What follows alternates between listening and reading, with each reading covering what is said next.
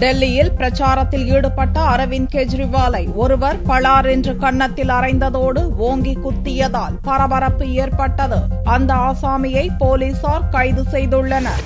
ஆம் ஆத்மி கட்சியின் தேசிய ஒருங்கிணைப்பாளர் அரவிந்த் கெஜ்ரிவால் கடந்த மூன்று தினங்களாக டெல்லியில் பிரச்சாரம் செய்து வருகிறார். புதனன்று கிழக்கு டெல்லியில் பிரச்சாரம் செய்த கெஜ்ரிவாலுக்கு பாரதிய ஜனதா கட்சியினர் கருப்பு கொடி காட்டினர். டெல்லி மக்கள் அளித்த பொறுப்பை கெஜ்ரிவால் தட்டி கழித்துவிட்டு ஓடியதாக கோஷம் போட்டனர். வெள்ளியன்று தெற்கு டெல்லியில் உள்ள தக்ஷின்புரி பகுதியில் திறந்த ஜீப்பில் நின்று கெஜ்ரிவால் பிரச்சாரம் செய்தார். அப்போது ஒரு ஆசாமி கெஜ்ரிவாலின் சட்டையை பிடித்து இழுத்து பலார் என்று அறைந்தார் பிறகு முகத்தில் ஓங்கி குத்தினார். கெஜ்ரிவால் அதிர்ச்சியில் உறைந்து நிற்க ஆம் ஆத்மி கட்சி தொண்டர்கள் அந்த ஆசாமியை பிடித்து சரமாரியாக அடித்து உதைத்தனர். போலீசார் தலையிட்டு அந்த நபரை மீட்டு விசாரித்து வருகின்றனர். திடீரென தாக்கியதால் அதிர்ச்சிக்குள்ளான கெஜ்ரிவால் பிறகு வாக்கு சேகரிப்பை துவங்கினார். அப்போது அவர் பேசுகையில் நம்மை யாராவது தாக்கினால் அவர்களிடம் அன்பு காட்டுவோம் என்றும் நாமும் திரும்ப தாக்கினால் நமது இயக்கத்தின் குறிக்கோள் பாழ்பட்டு போகும் என்றும் கெஜ்ரிவால் கூறினார். நரேந்திர மோடிக்கு எதிராக போட்டியிடும் கெஜ்ரிவால் வாரணாசியில் மார்ச் இருபத்தைந்தாம் தேதி பிரச்சாரத்தில் ஈடுபட்ட போது கருப்பு மை மற்றும் முட்டை வீச்சுக்கு ஆளானார். மார்ச் இருபத்தெட்டாம் தேதி ஹரியானாவில் பிரச்சாரம் செய்த கெஜ்ரிவாலை